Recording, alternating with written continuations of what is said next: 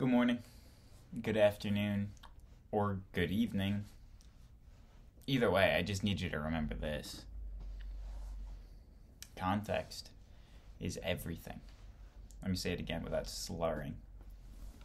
Context is everything. My name is John Michael here at Context is Everything Media Network. Um, what I'm here doing is I'm the founder and CEO of this network. Context is everything.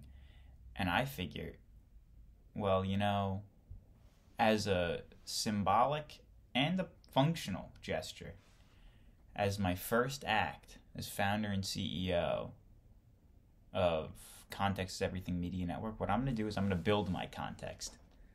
And I'm going to read this entire history textbook. And if you listen, I hope you enjoy.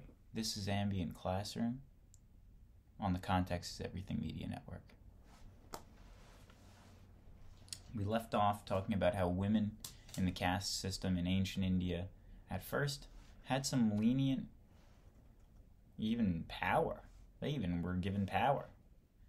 Um, but by the end of the, by, by as time went on, they eventually widows, uh, women whose husbands passed away, were thrown in the fire with the husbands um, as a repentance for both of their sins.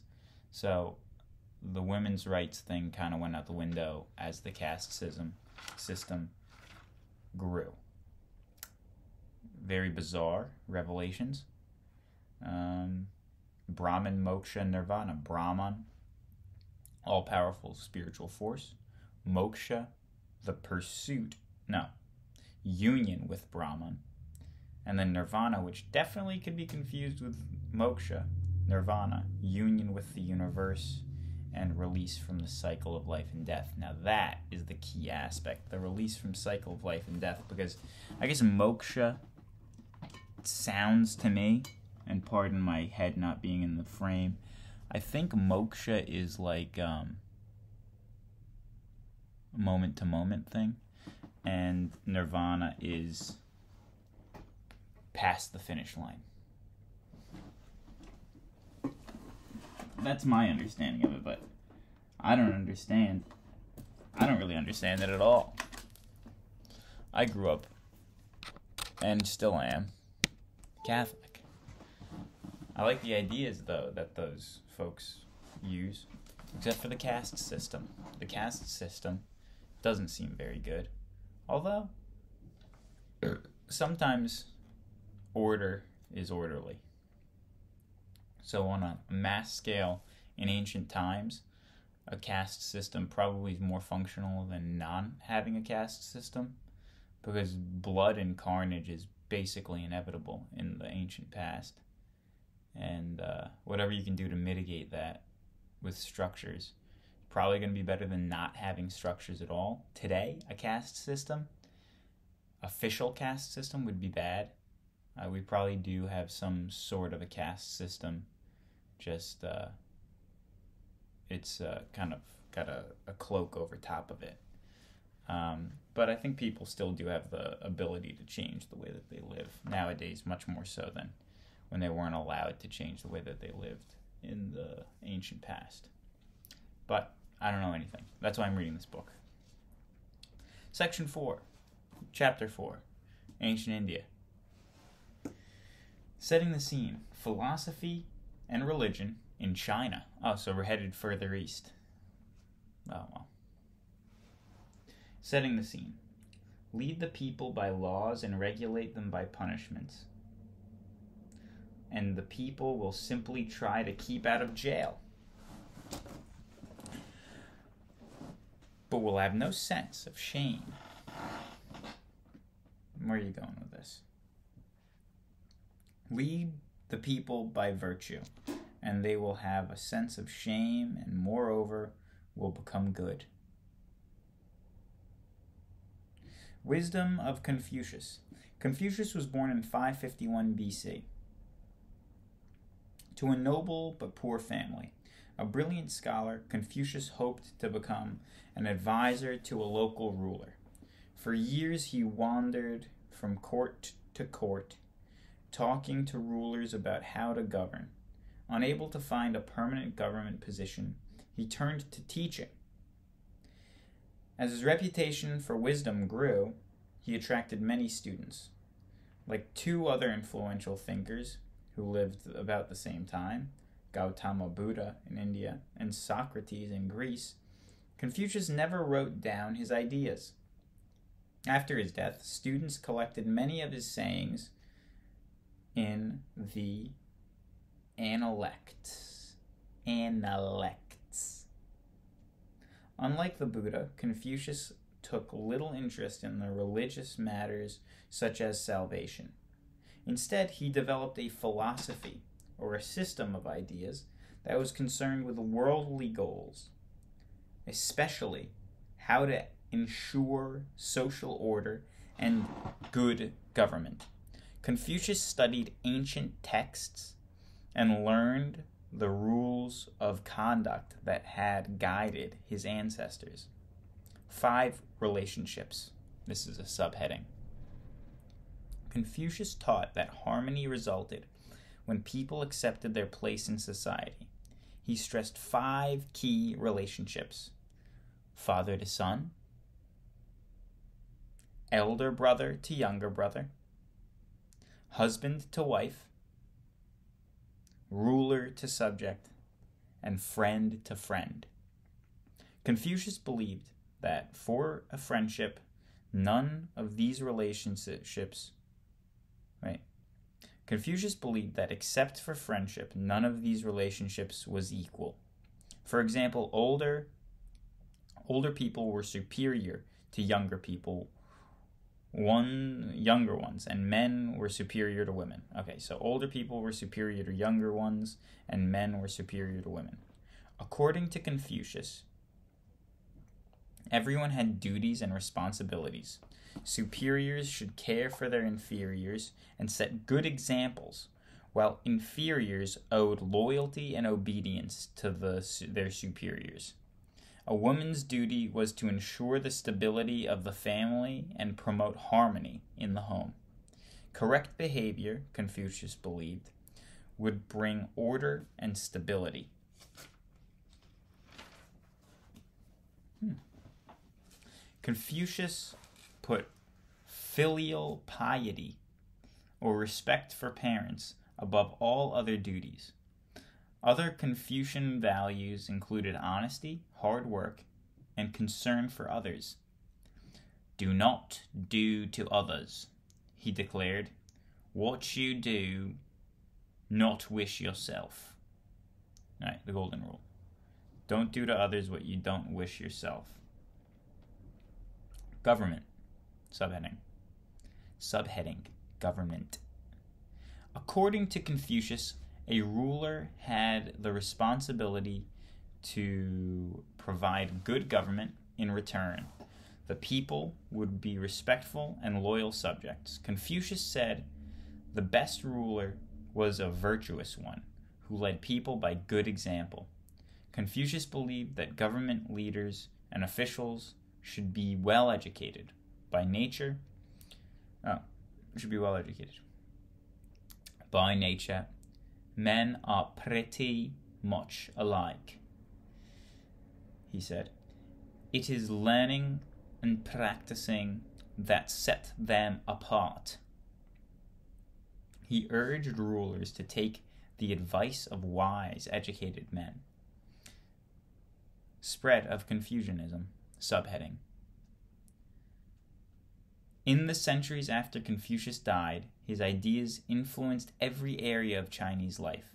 Chinese rulers relied on Confucian ideas to choose and chose Confucian scholars as officials. The Confucian emphasis on filial piety bolstered traditional customs such as reverence for ancestors. As Chinese civilization spread, Hundreds of millions of people in Korea, Japan, and Vietnam accepted Confucian beliefs. Close to a third of the world's population came under the influence of these ideas. New section. Heading. The harsh ideas of legalism, legalism. The very different philosophy grew out of the teachings of Han Fei Zi, who died in 233 BC, according to Han Fei Zi. The nature of man is evil. His goodness is acquired. Greed, he declared, was the motive for most actions and the cause of most conflict. Han Fei Zi insisted that only the only way to achieve order was to pass strict laws and impose harsh punishments. Because of this emphasis on law, Han Fei Zi's teachings became known as legalism. To legalists, strength, not goodness, was a ruler's greatest virtue. The ruler alone possesses power declared Han Fei Zi, wielding it like lightning or like thunder. Many feudal rulers chose legalism as the most effective way to keep order. It was the official policy of Shing, emperor, who united China in 221 BC. It was the official policy of the Shing emperor who united the China in China in 221 BC. His laws were so cruel that later generations despised legalism. Yet, legalists' ideas survived in laws that forced people to work on government projects and punished those who shirked their duties. Taoism, the unspoken way.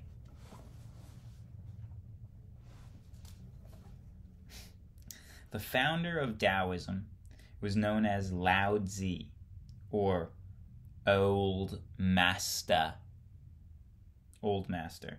He said to have he is said to have lived at the time of Confucius. Although we know little about him, his credit he is credited with writing The Way of Virtue, a book that had enormous influence on Chinese life.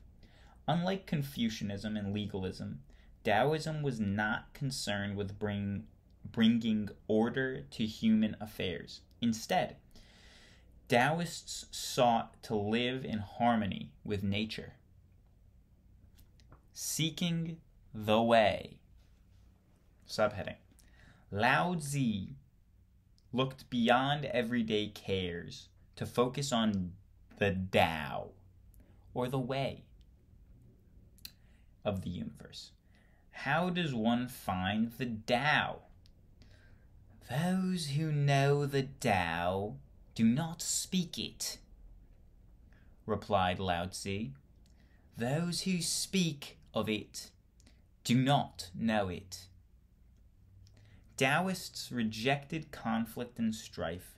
They wanted the end conflict between human desires and simple ways of nature.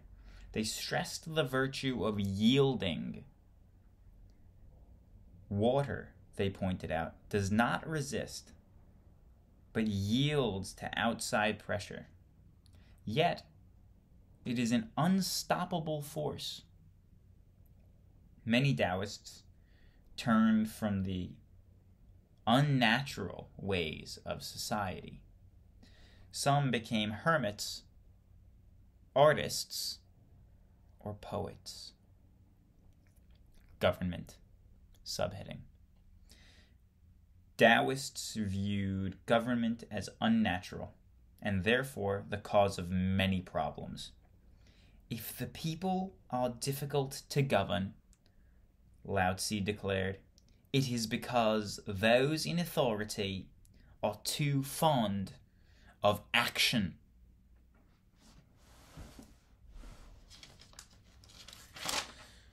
To Taoists, the best government was one that governed the least. A blend of ideas. Subheading Although scholars kept to Lao Tzu's teachings, Taoism evolved into a popular religion with gods, goddesses, and magical practices. Chinese peasants turned to Taoist priests for charms to protect them from unseen forces. Instead of accepting nature as it was, some Taoist priests searched for substance to bring immortality. Immortality. To achieve this goal, they conducted experiments. Sometimes their work contributed to science and medicine. Gradually, people blended Confucian and Taoist teachings. Although the two philosophies differed, people took beliefs and practices from each. Confucian, Confucianism showed them how to behave. Confucianism showed them how to behave. Taoism influenced their view of the natural world. Buddhism in China. This is the final heading of the chapter, and I have a question for you. So, uh, if you're listening in your headphones or um, if you're listening on your ambient noise generator that you have by your bedside, that sometimes features um, the great call of the blue whale or the squawking of the regal seagull over top a giant pile of garbage. I just would like to lend you my ears and ask you a question. Do you prefer that I have the camera orientated that I'm looking directly at it? Or do you prefer that I look over this way more often? Because this is the first time that I'm filming this with the camera directly in front of me rather than to my side, which is leading me to read more directly with some more of a facsimile of eye contact here. Now, my question here for the comments is is it better to do this or is this more welcome when I'm doing this? Is it less intimidating? I know I'm, I'm an intimidating guy. I probably should start ironing my shirts. Well, way to end with a sputter there. Buddhism in China.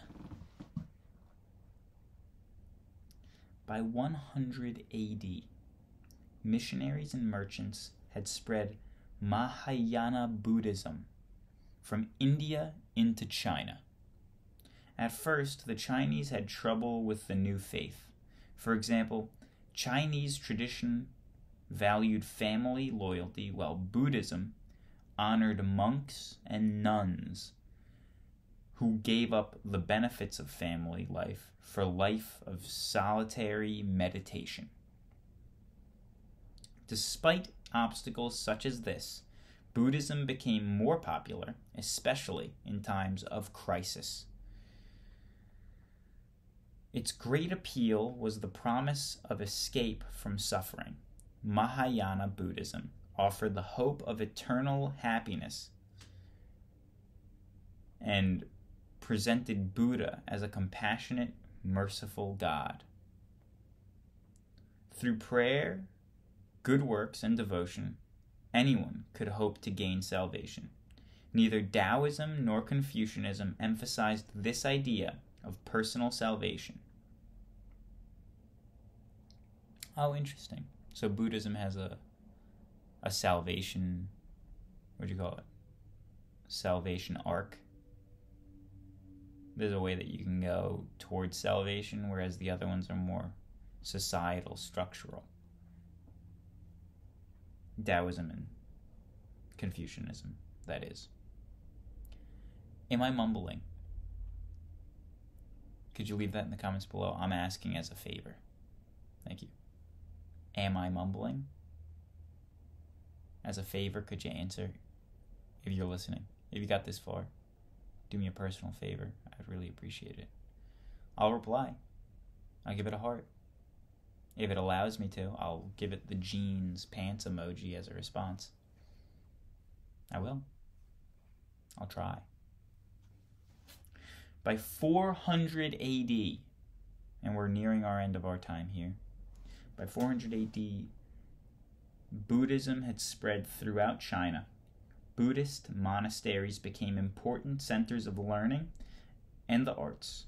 Buddhism absorbed many Confucian and Taoist traditions. Chinese Buddhist monks stressed filial piety and honored Confucius. I still have yet to buy a fresh set of unmarked sticky notes. I will write some brief notes on this chapter and I will put them inside this book so that I can hopefully remember some details. Because the point of this whole show, not only to upload content for the Context is Everything Media Network, but it's also to build some context in my old noodle here. I want to practice what I preach. If context is everything, if it is indeed very important, I should have context of the history that has led us to where we are today, which is why I'm reading this book, and which is uh, another reason why I appreciate your patronage, watching, and commenting to help the show grow. This is John Michael at Context is Everything. The bell's about to ring. Thank you for coming. Uh, and for the remainder of the class, you can chat among yourselves. Oh, that'd been great if the bell just rang right there. 40 seconds left. um, notes that I'm going to put Confucianism, Taoism, and Buddhism. And I'm going to put like one or two words underneath each to indicate things about them. So let's see.